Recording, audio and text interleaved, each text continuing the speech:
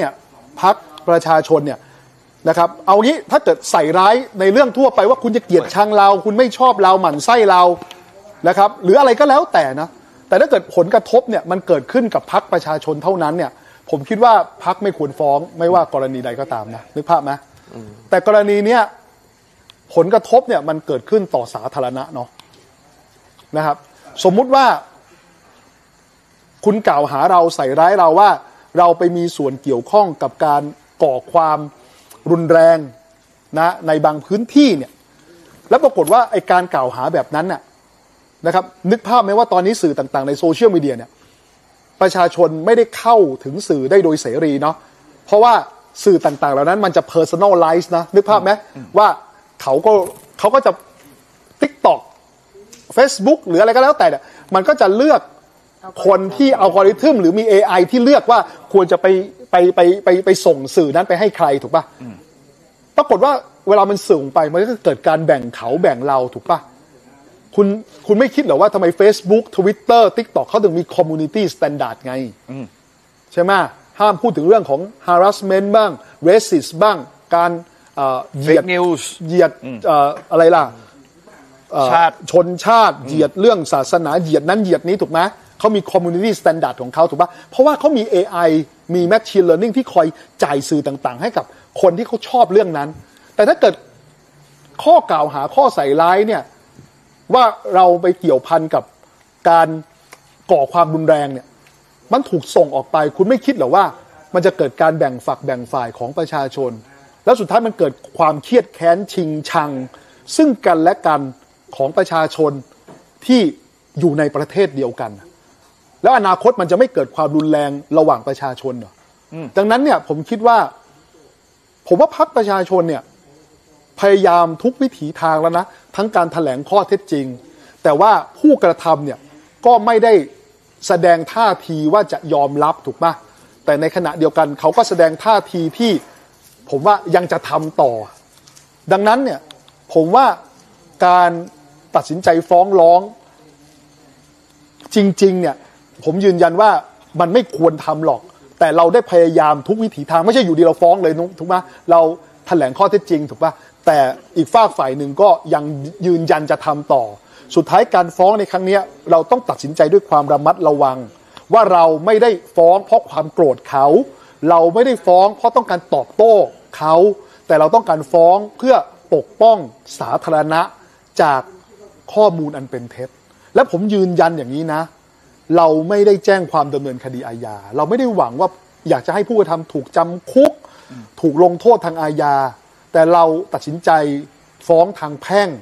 เพื่อขอให้เขาเนี่ยยุติการกระทำอย่างนี้ และ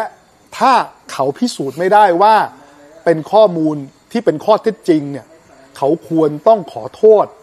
ต่อสาธารณะ ผมย้ำนะ ขอโทษต่อสาธารณะ เขาขอโทษต่อสาธารณะ เขาอยากจะด่าพักประชาชนว่าไอ้เฮี้ยไอ้สัตว์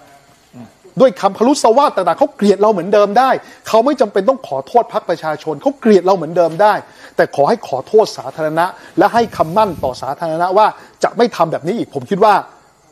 เราถอนฟ้องทันที ถ้าตอนนี้เขาหยุดเรายังไม่ฟ้องก็ยุติการฟ้องได้เลย แต่ถ้าเกิดฟ้องไปแล้วเขาขอโทษต่อสาธารณะ แล้วไม่จำเป็นต้องไปเสียเงินเสียทองเยอะเพราะเราก็ไม่ได้ฟ้องแพ่งเพื่อเรียกร้องเงินทองมหาศาล เราก็เรียกร้องเพื่อให้เขายุติการกระทำแล้วก็ขอโทษต่อสาธารณะ เขาเคยโพสต์เฟซบุ๊กก็ไปแปะไว้ใน Facebook ละกัน เขาเคยโพสต์ TikTok ของเขาก็ไปแปะไว้ใน TikTok ของเขาละกันไม่ต้องมาเสียเงินเสียทองนะอันนี้ผมคิดว่า นี่คือจุดยืนของเราเนาะนะครับ และสิ่งที่สำคัญที่สุดผมคิดว่า ผมก็เห็นด้วยแหละ กับอ่าการวิพากษ์วิจารณ์ว่าเราไม่น่าฟ้องเนาะถ้าผมเชื่อว่าถ้าเกิด freedom of speech เนี่ยมี มากเพียงพอเนี่ยการฟ้องร้องเรื่องหมิ่นประมาทเนี่ยไม่ได้มีความจำเป็นเลย แต่น่าพอเราคำนึงถึงผลกระทบต่อสาธารณะเนี่ยที่มันรุนแรงมากเนี่ยแล้วถึงเวลานั้นเนี่ยเราเราคงคุมสถานการณ์หรือว่าลำบากเนาะจัดการกับความเสียหายลำบากเนี่ยผมคิดว่ามันเลยจำเป็นต้องจัดการด้วยวิธีนี้ สมัยก่อนคุณลองคิดดูสิเราถูกถูกอะไรบ้างล่ะ ประชาชนจำนวนมากก็กล่าวหาเราว่าอะไรอะล้มเจ้าบ้างถูกไหม เราก็เราก็เราก็ไม่ได้ฟ้องถูกไหมใช่ไหมแต่ว่าเพราะนั่นคือผลเสียเสียหายมันเกิดขึ้นกับเราเองถูกปะคราวนี้ ยกอีกเหตุผลหนึ่งละกันนะครับ คืออย่างนี้ ถ้าเราเทียบเคียงกับประเทศสหรัฐอเมริกาเนาะในกรณีของคุณแบร์รี่โกลด์วอเตอร์นะอดีตวุฒิสมาชิกเนาะคือตอนนั้นเนี่ยเขาก็ฟ้อง Fact Magazine เนาะนะครับแล้วก็เข้าใจว่าเป็นบรรณาธิการที่ชื่อว่ากินซ์เบิร์กเนาะเพราะตอนนั้นเนี่ย Fact Magazine ก็ไป ไปอะไรอะไปเอาจิตแพทย์นะจำนวนหนึ่งแล้วก็ไปเอาคลิปของคุณโกลด์วอเตอร์เนี่ยมาดูแล้วก็บอกว่าเนี่ยมีปัญหาสุขภาพจิตไม่พร้อมที่จะเป็นประธานาธิบดีเนาะแล้วก็ปรากฏว่าคุณแบร์รี่โกลด์วอเตอร์ก็เลยฟ้อง Fact Magazine ซึ่งการฟ้องสื่อเนี่ยของนักการเมืองสหรัฐอเมริกาถือเป็นเรื่องใหญ่มากถูกปะเพราะถือว่าเป็น Public Figure นะครับแต่ปรากฏว่าศาลพิจารณาตัดสินให้คุณโกลด์วอเตอร์ชนะนะด้วยเหตุผลว่า การกระทำของกินซ์เบิร์กหรือ Fact Magazine เนี่ยเข้าข่ายเป็นลักษณะ actual malice คือเจตนามุ่งร้ายอย่างชัดแจ้ง เอางี้ตอนนี้ทุกคนชอบพูดคำว่า เนี่ยไม่ใช่การวิพากษ์วิจารณ์โดยโดยสุดจริต เอาอย่างนี้ ต่อให้การวิพากษ์วิจารณ์โดยไม่สุดจริตต่อ Public Figure หรือบุคคลสาธารณะอย่างนักการเมืองเนี่ยก็ไม่ควรถูกฟ้อง ถ้าเป็น Common Malice หรือเจตนามุ่งร้ายโดยทั่วไป มันไส้เกียดชัง กูไม่ชอบมึง กูไม่ชอบวิโรธถูกไหมฮะกล่าวหาวิโรธใส่ร้ายวิโรธไม่ควรฟ้อง แต่ actual malice มันต่างจาก common malice คือหนึ่งรู้อาจจะรู้อยู่แก่ใจ ว่าเรื่องที่ฟ้องเนี่ยไม่จริงหรอก แต่ถ้าสร้างเรื่องนี้และปลุกปั่นให้คนเชื่อได้ จะทำลายล้างไอ้หมอนี่ได้แน่ๆคือรู้อยู่แก่ใจสองประมาทเลินเล่อต่อข้อเท็จจริง ทั้งที่ตัวเองเนี่ยอยู่ในวิสัยที่จะทำได้ เช่นวินยูชนทั่วไปเนี่ยก็น่าจะเชื่อได้อยู่แล้วว่าพรรคประชาชนเนี่ยไม่ได้เกี่ยวข้องกับการก่อเหตุความไม่สงบถูกไหม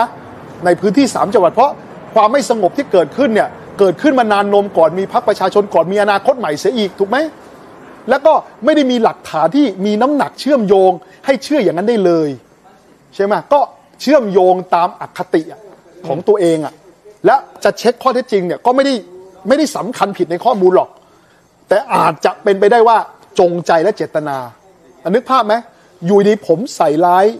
คุณโบอสสมมุตินะ ว่าไอ้หมอนี่เหรออย่าไปยุ่งกับมันเลยดูแล้วมันน่าจะขี้โกงไอ้อย่างเงี้ยคือวิเกินวิพากษ์วิจารณ์โดยโดยสุจริตแล้วเข้าข่ายหมิ่นประมาทแล้วถ้าคุณโบอสเป็นนักการเมืองก็ไม่ควรฟ้อง นักการเมืองอย่างโบอสแล้วดูแล้วแม่งก็ขี้โกง อย่างนี้ไม่ควรฟ้องถูกไหมเพราะเป็นเจตนา เขาเรียกว่าเจตนาร้ายโดยทั่วไป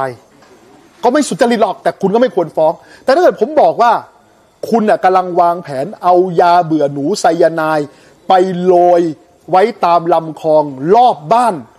ชุมชนสิบชุมชนไอ้อย่างเงี้ผลกระทบมันเกิดขึ้นต่อสาธารณะถูกไหม และถ้าเกิดพิสูจน์ได้อีกนะว่า ผมเนี่ยรู้อยู่แล้วว่าไม่เป็นความจริง แต่การเอาเรื่องนี้มาใส่ร้ายโบส เป็นความจงใจไต่ตองไว้ก่อน เพราะว่ามันจะทำลายชื่อเสียงทำลายตัวตนของโบสอย่างรุนแรง เพื่อหวังผลทางการเมืองอะไรบางอย่าง หรือหวังผลประโยชน์หรือหวังผลโทษบางอย่าง อย่างเงี้ยเข้าข่าย actual malice อย่างเงี้ยผมคิดว่าควรฟ้องเพื่อปกป้องสาธารณะนะ